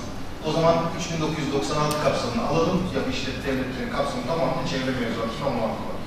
Bu bir yara olarak kaldı. İkincisi, e, havalimanı ile ilgili her zaman ihtiyaçlar belirlenmez. Yani oradaki mülkiyet yapısının, tarımsal arazilerin, oradaki e, teknik değerlendirme, jeolojik değerlendirme eksikliklerini şöyle izah edebiliriz. İstanbul'da bir kısım yurttaş bu davayı açtığında mahkeme savunma bile almadan yürütmeyi durdurma kararı verdiğinde 2009'da 7 genelgesi kapsamında hemen bir ikinci rapor çıktı. Yedek bir rapor işte hazırlandı. O ikinci raporun içeriğinde en az 600 sayfa jeolojik etüt değerlendirmesi var. İlk raporda olmayan. İlk mahkeme durdurma kararını kaldırınca ikinci rapor ortadan kalktı. Bir jeolojik etüt değerlendirmesi olmayan bir raporu biz tartıştık. Dedik ki yok yok yok yok. Bakın ikinci raporumuz kapatıyordu. Yani hani teknik tartışmalar oluyor. Bilir kişi ÇED mevzuat açısından şöyle değerlendiriliyor bütün projelerde. Çevresel etkileri mutlaka ki vardır. Bunların bertarafı yönünde alınacak tedbir ve verilecek taahhütler yeterli midir, geçerli midir, geri kalanı izleme ve kontrole kalır diye bu meseleler birazcık taahhütler manzumesi çerçevesinde tartışılıyor. Yani davayı kaybettiğimiz, haklı olmadığımızı kanıtlamaz. Biz o davada toplum yararı açısından haklı olduğumuzu düşünüyoruz. Danıştay'a yenildik. Bu arada avukatında şey, aslında sürede tamam yani orada süre şey. Hangisi? 13, 13 günü süremizde sıkıntı yoktu. Var. Biz onu çok fazla yani, yani 13 günü sayabiliyoruz. Yani, resmi, arada resmi tatil var. Tamam. İş günü kapsamında olmayan. Yok orada bayram geliyor mu? Yok öyle bir şey yok. Şey, idari, idari resmi tatil. Yani birleşen bayramlardan Yok, resmi tatil var. resmi tatil. 1 Mayıs tatili var. Evet. Yanlış saymışsınız. Doğru. Ama yine de kazandım. Tabii yani tarihi bir... Şunu düşünelim bakanlık olarak. 3996'yı sizin yetki alanınızdan çıkardılar. O zaman Yok. her şey yapıştırdı. Ben şunu e, gönül rahatlığıyla söylüyorum. Ben havalimanı için zaman yani bir kayıp olarak görmüyorum. Hani çevresel anlamda da dediğim gibi o araziyi görmek lazım daha öncesinde. E, ben bir kayıp olarak görüyorum. İhale şartnamesi zaten sıkıntılı. Bulgaristan hava sahası üzerinden işler gerçekleşecek ve şey değerlendirmeleri hatalı biliyorsunuz. Onu yapacak bir şey yok. Ona müsaade ediyor ya. Hayır, hayır, her uçak Bulgaristan'a çıkacak, Türkiye'ye geri gelecek. Doğru. Güzel. Şu anda da çıkışını da öyle zaten. Bulgaristan'dan çıkıyorsa da. Yok, Türkler açısından o havalimanına inmek için Bulgaristan'a çıkacağız, tekrar ineceğiz. Güzel plan var. Yani çevresel etkilerin değerlendirilmesi anlamında işte biz onu hani çok daha e, geniş boyutuyla değerlendirip kamu ve toplum yararı birlikte değerlendirerek davacı olmuştuk. Bu uçağın Anadolu Denizi'nden de iklim değişikliğini Dolayısıyla hani bizim de bizim de çevre mühendisleri odası olarak içimiz rahat diyelim ama kaybettik. Ee, ama e, biliyoruz ki e, kaybetmek e, bazen kazanç da olabilir. Kaybedeceğimizi bilsek de bu tarz e, vicdani sorumluluklarımız noktasında hani e, bizim kamu yararı anlayışımız kapsamında davalarımız olacak. Hani daha teknik tartışalım ve bu anlamda da birbirimizi besleyebilelim, birbirimizden öğrenebilelim, birbirimizi anlayabilelim diye. Ee, sanıyorum ara vermeden e, devam edeceğiz.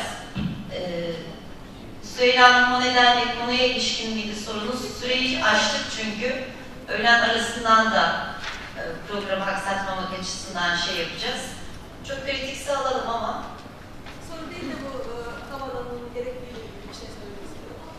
O ama zaten hani kaybettiğimiz bir dava olduğu için. Gerektiği konusu tabii çok tartışıldı hani e, neresinden baktığınız anlamında. O tartışma devam edebilir hani tarihimizde bir sürü şey öğretecek.